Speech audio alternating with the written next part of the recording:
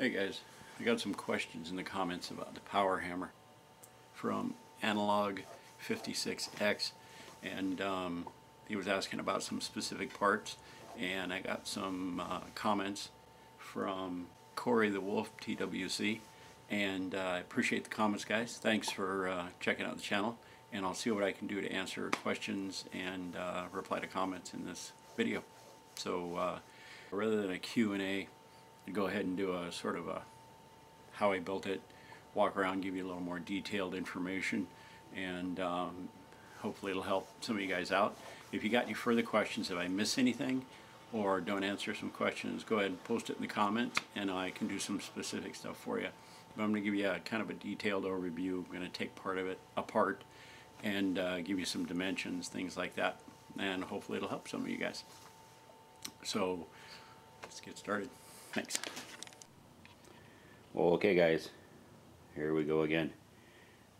We're going to do some information on the power hammer. We got a lot of questions about different things, so we're going to mix in a little bit of what it is, why it is, and Q&A from some of the questions that the guys on the channel have had. So, let's get started. Start at the bottom. And what you're going to notice is there's a quarter inch steel plate and these are three inch C channels that go around the perimeter of that plate. I don't know if you can see it or not. I think you can. That C channel is up off the ground right there. You can't really see in there. But what it is, is there's a void inside because the C channels, the quarter inch plate, and all of this is sitting on just the plate. So what I did is I took 4x4s, which are three and a half inches thick, and I lined them up side by side under here and created a wooden platform that's captured under that channel to sit on the concrete. And then I welded these angle iron legs, piece of angle iron down, piece of angle iron down, half inch uh, masonry bolts going down into the concrete. So this is the only contact point and there's a little air gap under them, not much. And this sits on those 4x4s. And the 4x4s I got are just three and a half inch 4x4s. Um, they come off uh, pallets that I get from where I work and they're some sort of a, I don't know, they're white, they're heavy, they're hard, and I don't know what kind of wood they are, but they work really well under there. And that absorbs that shock down onto the concrete. Okay, so moving on up. The plate. The footprint of this plate is 24 inches from there to there. And it is 36 inches from there to back there. So 24 by 36 inch footprint. And like I said, quarter inch steel plate, and it's got the channel around it with 4x4s underneath to absorb the shock. So there's a couple of pieces of I-beam here, and they're welded together down to the base plate. I hope you can see that. It looks like it might be a little dark down here. And then that's what my main post, which is made from Schedule 40 uh, black water pipe. I got it off a construction site. They were using it for a sprinkler pipe and it was a throwaway. So anyway, that's welded to the top and that comes straight up all the way up and that's the main body that goes up to the head of this machine. So I started with that. And then the diagonals are, see if we can get in the right light for you. These are two inches wide by three inches and they're eighth inch wall uh, mild steel and I just cut them at a diagonal so they would fit up against the tube at the top Don't mind the crappy weld. And then cut them at a diagonal at the bottom so they would just sit on the plate. But they sit on the plate directly over the three inch channel that wraps around. So that guy and these. So the key to this thing is triangles. And that triangular shape coming up here is what gives this thing a wide base for stability. Okay, so the next thing I did is I figured out how far I wanted my hammer to extend out. Now the further you go out with your hammer up here before it comes down, the more you're going to have to deal with in vibration and movement. That's why these legs, these diagonals, come up so close to the head at the top. So really, I've only got about a foot here that's not supported by these diagonals. And then I come across. Of course, I brought that back. In reality, what I should do is go from here down to this diagonal here. Should come across and make another angle. But it's not moving, so I don't really need to. You see, that should go from there straight down to there. If you needed it. Okay, so we've got the legs, the main body, and then this guy here is the same tubing, two inch by three inch, comes crossed.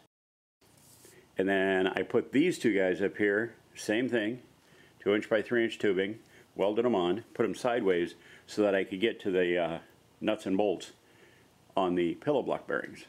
All right, so this tube here that's on top is not eighth inch wall, it's uh, closer to quarter inch wall. I used a little heavier tubing up there because of the uh, structure and the pillow block bearings needed to, so I had to have something a little heavier to weld to that Schedule 40 pipe. So then I needed to figure out how far I wanted to extend this thing. And I needed to keep it minimal so it wouldn't vibrate too much. So I brought it out 12 inches to the center line of the hammer from the front of that Schedule 40 pipe.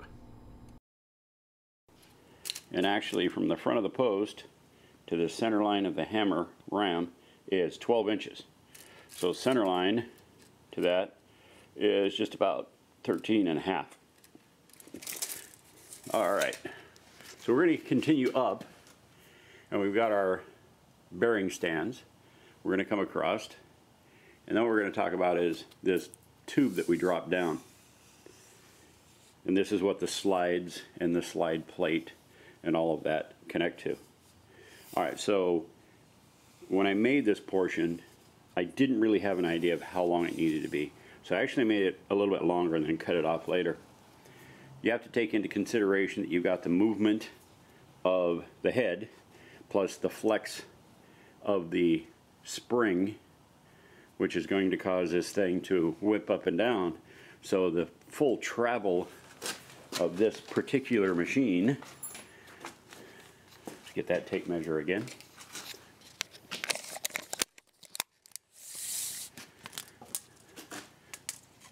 The travel from the greasy point where the wheel is to the greasy point where the wheel stops, yeah, where are we, is about 16 inches. So that's the full potential that it has to run. So this plate back here, I had to have this down bar long enough to support a plate long enough to um, allow my guides to move up and down. So I brought it all the way up underneath the wheel here and I brought it down 21 and a half or about 20 and a half inches long. And this is something I had to play with because I really didn't know how far this was going to move. So like I said, I left this a little longer in the beginning and I was able to cut it off later on. Okay, so the reason we come up and across and then down with this tube before we get to the mechanisms is because this structure needs to be built before you put an anvil under it.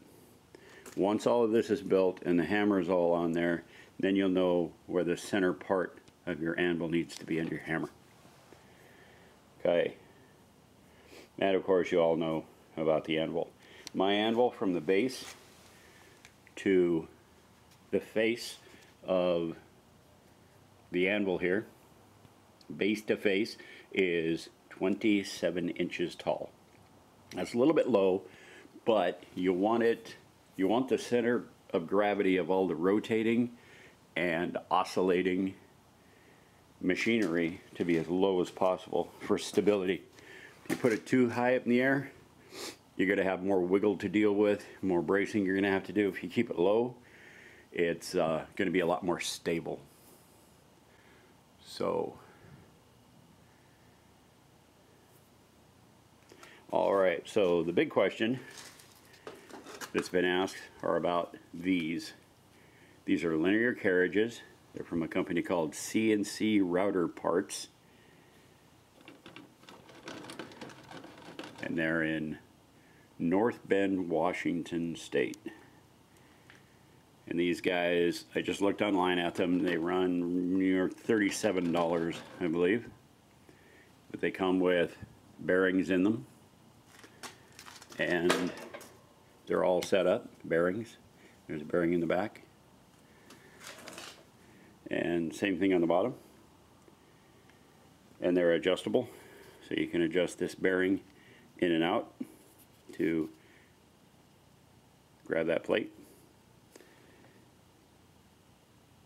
And after a while, you do get the tiniest bit of wiggle out of them, but it's not much. I mean, it's minimal. I've got a little video on this mechanism here, and I'll give you a little closer look at the flywheel.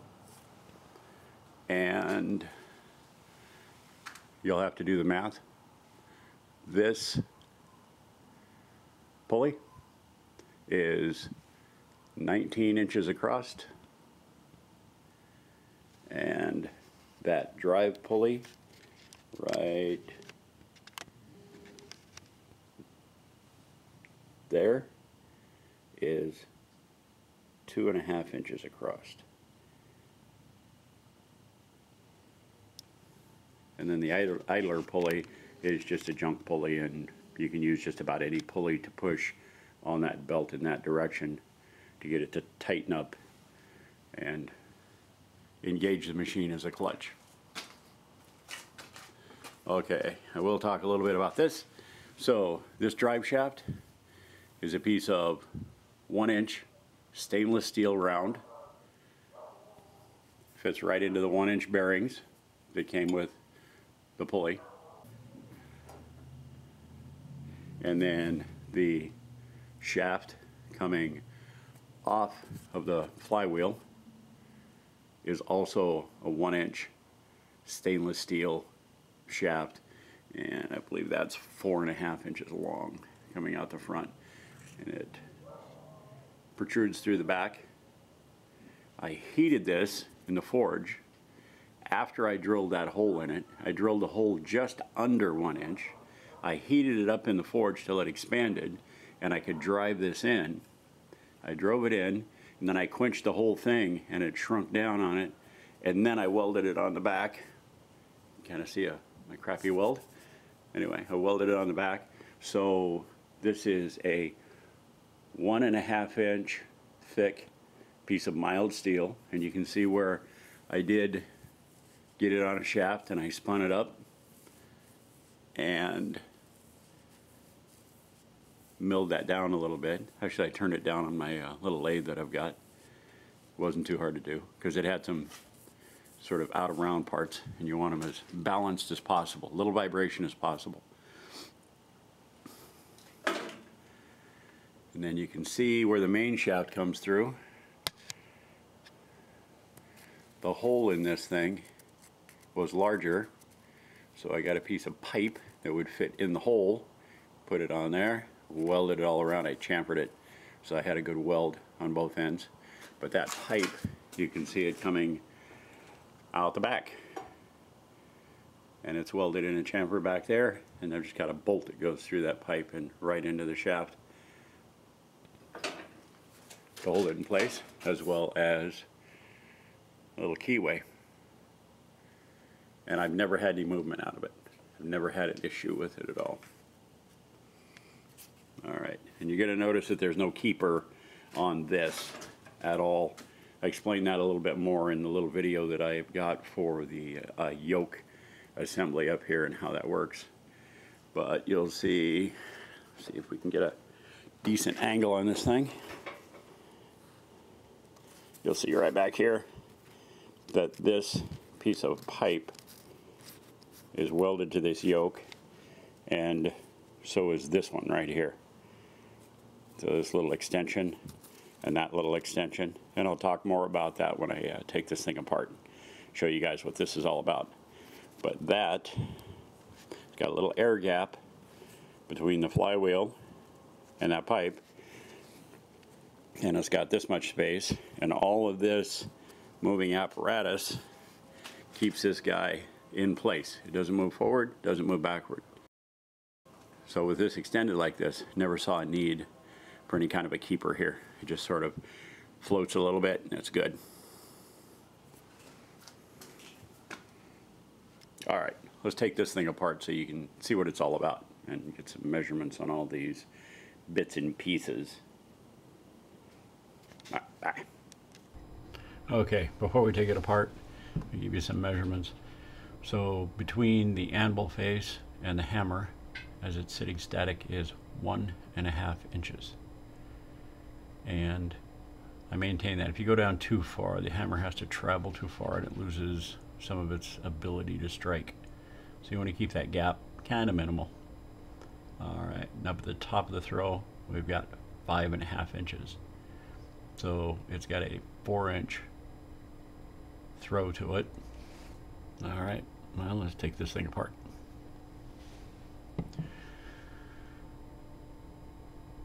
So the nuts and bolts holding this together are just half inch grade 5 bolts with a little nylock nut on the back, half inch, and reach through, pull the bolt out. There's no bushings of any kind in these arms or in the links, and they don't seem to need it. They work really well. I keep them lubed with white lithium, and it seems to do just fine. So I'm going to pull a spring out of this thing, and that is a spring off of a 1976 Honda CB750 motorcycle. It's a rear coilover spring for one of the rear shocks. And it's about nine and a half inches long, I believe. And it's been unaltered. You notice one end of that can that spring is compressed a little more than the other. It's The way they're manufactured doesn't seem to affect the machine at all. All right in the interest of keeping this video as short as possible, I uh, speed up as much as I can here, just assembly, you get the idea. And that yoke just slides straight off that main shaft, except before there's no keep on there, just a floater, and that's it. Let's get it over on the anvil and I'll give you some dimensions on it. Alright. Okay. okay guys, so this is the yoke assembly with the spring arms attached. You can see the two pieces of pipe on either side that are welded inside the arms. That retains the spring it's currently held in just through compression, but I'm working on uh, something to retain it a little better in case it breaks. Okay, this yoke has been built in several pieces. There's four to be exact. You can see the top flat plate with the curls on either end where the bolts go through. That was forged out of a piece of one inch by 5 eighths. We'll call that the upper bushing. And what I did is then I forged a lower U-shaped loop and welded it onto the bottom of that and welded a plate over the back of the entire thing to close it off and laid it in my forge and heated it up and poured it full of molten bronze. The lower bushing has extensions on either side that are two small pieces of pipe I showed you earlier in the video. Those were poured as an individual piece of pipe with bronze, drilled the hole, cut it in half, and welded it on either side with a piece of one inch stainless through the center to keep it all aligned. Those pipes that I put on either side with the bushing extensions in them or what we're going to call it, the lower bushing extensions. And I needed a little more bushing surface. Uh, it's the portion of the machine that takes the most abuse, and I wanted to give it um, as much stability as possible.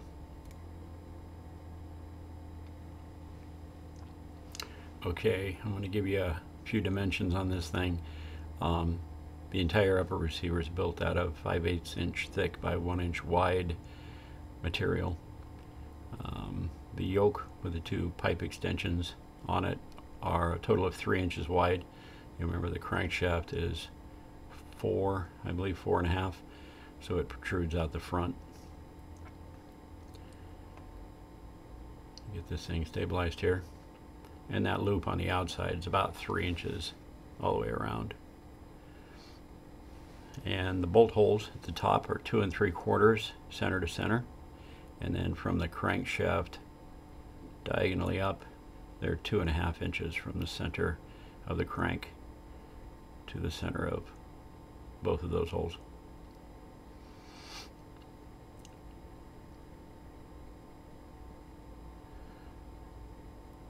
So my little arm extensions off the bolts are about three inches long and the overall is about 13 inches from the center of that bolt to the bottom of the arm. Now the yoke was made out of the same material as the arm so those pieces welded to the outside of that arm going around the yoke. I put some shims in there to leave some room so that yoke would fit in between and have movement. So you can see where that fits but I wanted to get a single link over to the hammer so I twisted it and that lower arm is 12 inches long and I overlapped it with those tabs at the top on either side by about an inch just give you some basic structure of how I put this together now those little 90 degree legs are three inches long and I drilled them about it's two and a quarter two and three eighths in towards the middle. The reason I put those 90s on there is I didn't want to put too much of a bend in those arms. I needed to leave room for the spring, but I wanted to shorten the lengths going over to the hammer.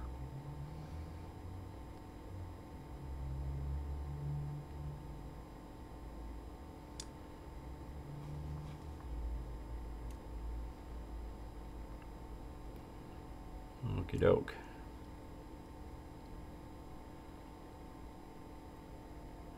So what I did is I brought that down, heated it in the forge, twisted it 90 degrees, and that creates that little area for the link to reach over the hammer. And this is one of the hammer links.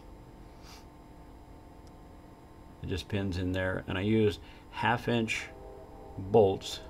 They're just grade 5 bolts, zinc plated and you can see those holes are four and a half inches center to center. You see this radius end that fits in a narrow area next to the hammer and it needs to rotate slightly so I just ground those off.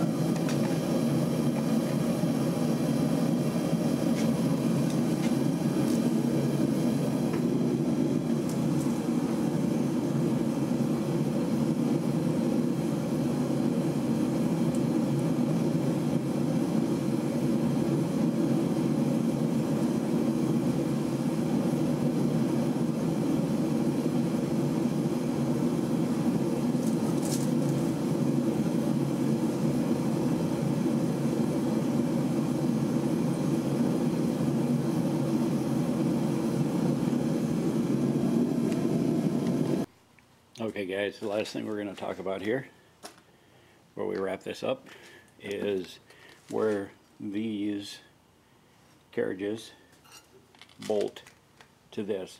What I've done is put a the carriages onto a half inch plate right here and they bolt straight in. These come pre-drilled and pre-tapped for these bolts in those increments.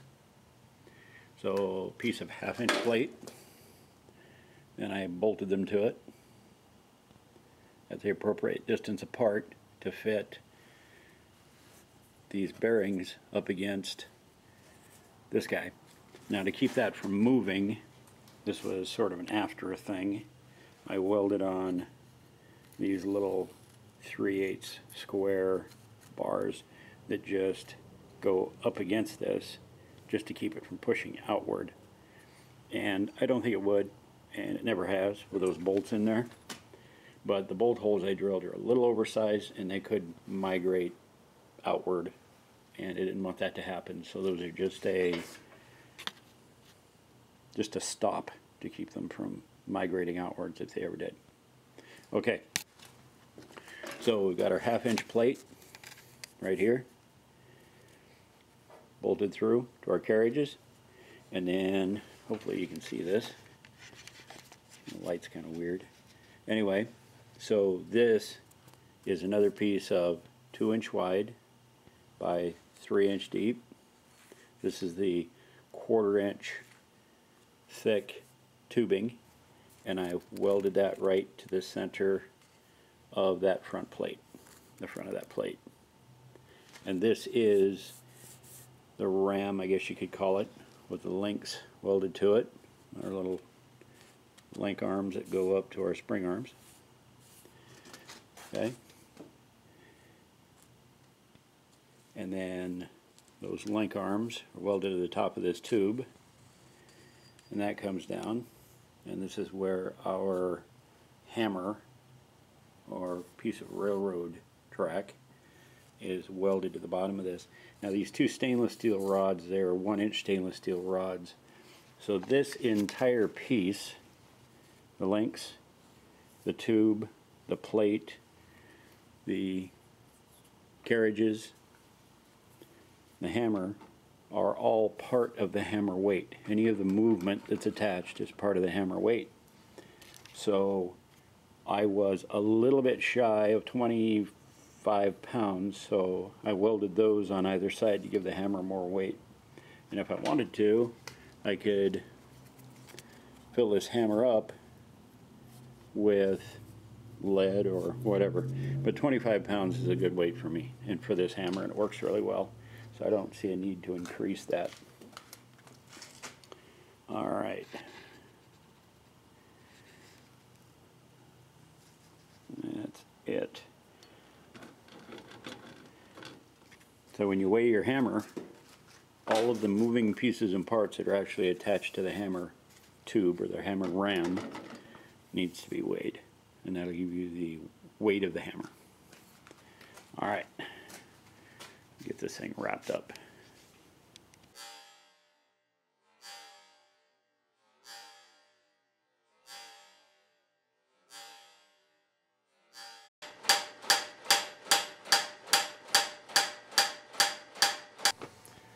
So thanks guys. Um, I hope it was helpful.